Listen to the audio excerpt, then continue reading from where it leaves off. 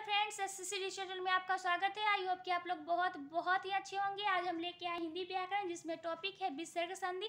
तो आज हम जानेंगे विसर्ग संधि के बारे में कि विसर्ग संधि किसे कहते हैं और इसका उदाहरण क्या है। ठीक है, इससे पहले अगर आप मेरे चैनल पर नए हैं तो सब्सक्राइब ज़रूर करें ताकि मेरी सारी वीडियो तक सबसे पहले पहुँचे। तो चलिए देखते हैं विसर्ग संधि की परिभाषा क्या है।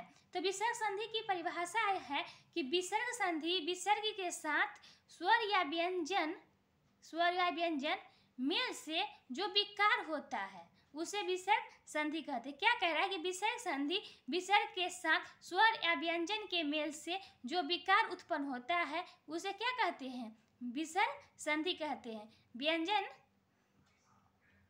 के मेल से जो विकार उत्पन्न होता है, उसे क्या कहते हैं? विसर्ग संधि कहते हैं। ठीक है?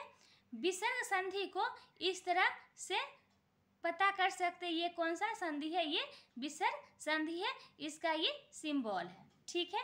विसर्ग संधि के लिए विसर्ग संधि विसर्ग के साथ क्या होता है? स्वर या व्यंजन के मेल से जो विकार उत्पन्न होता है, उसे क्या कहते हैं? विसर्ग संधि कहते हैं। उदाहरण के लिए, उदाहरण में हम देख सकते हैं, मना, ये क्या है? विसर्ग संधि, मना, जो रथ। क्या हो गया? मनोरथ। मना, जो रथ, बराबर मनोरथ। ठीक है?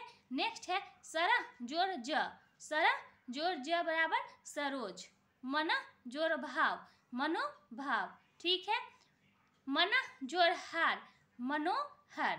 सरह ज़ोर, वर। सरोवर। यश ज़ोर दा क्या हो गया? यशोदा। तो ये क्या हो गया? विसर्ग संधि।